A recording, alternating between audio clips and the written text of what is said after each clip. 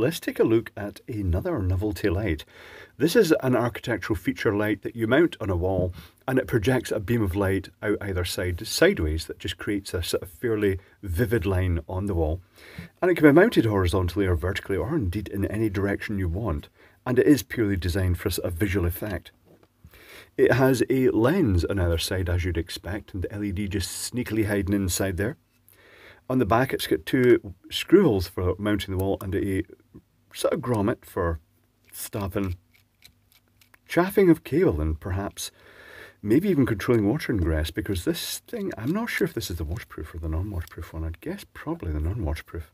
It does have a seal and it's got a tapered side here that as you tighten it up, it probably snugs this in and pulls up against that seal. So this may be a waterproof one seal. Uh, it has a classic little power supply stuffed down the inside and that hooks onto the classic little connector here. I'm just trying to get this off. Mm, is it going to come off? Yes, it's going to come off. Uh, this is a very common arrangement, these little power supplies. Uh, let's pop the power supply open. Uh, you know what? Before I do anything, I should plug it in. We can test it for power consumption and we can see what it actually looks like.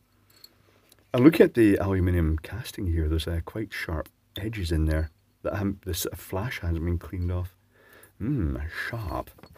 Right, let's uh, grab the hoppy up. And since this has two connections for the hoppy, I don't see a, a means for earthing this, unless you actually... Mm, no, I'm not really sure it is designed to be earthed, though. I would expect with anything, when you're stuffing wires in here, uh, I would expect a earthing facility, or grounding if you prefer. Let's plug this in, let's double check the voltage rating. 85 to 265 volts, it's universal. I shall plug it in and we'll see what happens. It has lit and is projecting a beam out either direction, right? Tell you what, uh, I shall turn the light, I'll take the exposure off, turn the light off. There's your beam shape roughly. It's fairly vivid. It's projecting a splash of light up the walls on either side. This is what we're getting. While we've got the light off here, we'll take a look at the Hoppy. And the Hoppy says uh, 4.6 watts, um, 37 milliamps, power factor about 0.5, which is typical for these little power supplies. So that's going to be giving a little bit of loss for the power supply. That's going to be about 2 watts per LED probably. Right, tell you what, watch your eyes, the light is coming back. The light is back. Let's unplug this and take a look inside the power supply and also take a look at the construction. So I shall unplug the power supply for this. We'll just pop it open. I'm going to guess it's going to be one of those tiny little circuit boards that are kind of designed to stuff into the back of a, a GU10 housing. Where is my spudger? My spudger is here somewhere. I think I've found my spudger.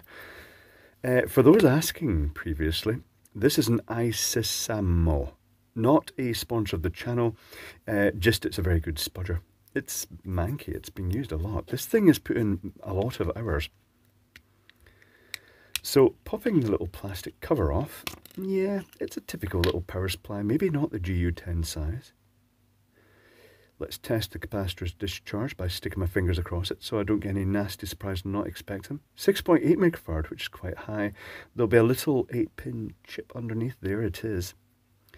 Um, which will maybe be a bright power chip. Or is it another brand?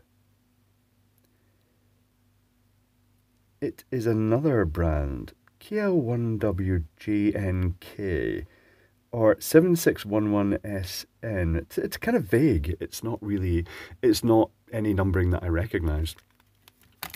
But it will be the classic uh, simple power supply with the rectifier, the smooth capacitor, the little switching circuit, and then the transformer, and then the output. It's got a diode, uh, and a capacitor, and another little capacitor there, which is the Class Y interference suppression capacitor. But this sort of supply, even though it looks as though it's got a isolation transformer, shouldn't be treated as being isolated. They're not uh, really what I'd classify as isolated.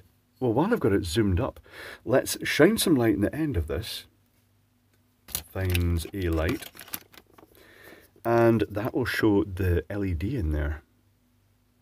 The LED must have been mounted, given the housing, it must have been mounted before the lens was put in.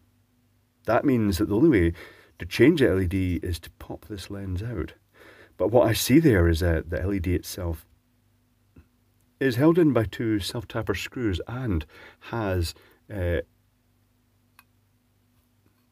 holes for the wires to come out. And I'm guessing that they probably put the wiring in through those holes, pulled it out, uh, sewed them onto the LED, and then sat the LEDs back and uh, screwed them on. Very simple construction. I kind of want to push one of those lenses out, but I can't get my finger in there to do so. These are just kind of siliconed on.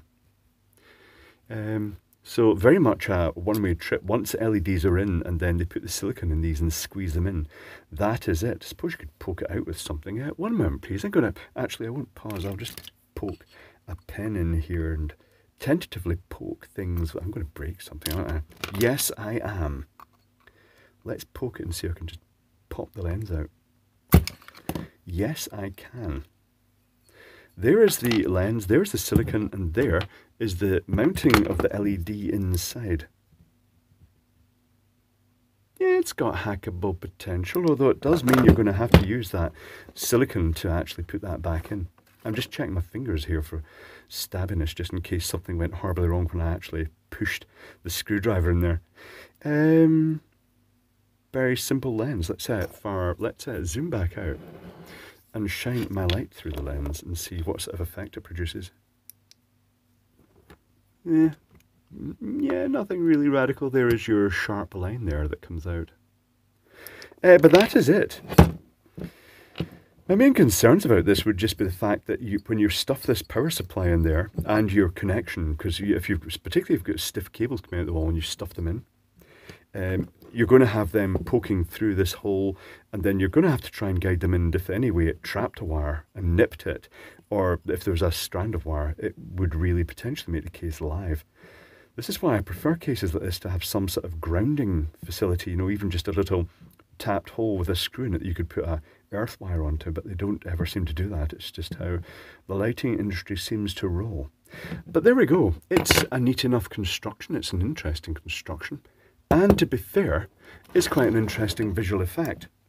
It also has the potential because uh, it uses a standard power supply in here. If you wanted this in a application that you're running on say 12 volts, you could put in a matching supply for that, or indeed just use a resistor in here and just have the LEDs in series with a resistor to run it on lower voltage.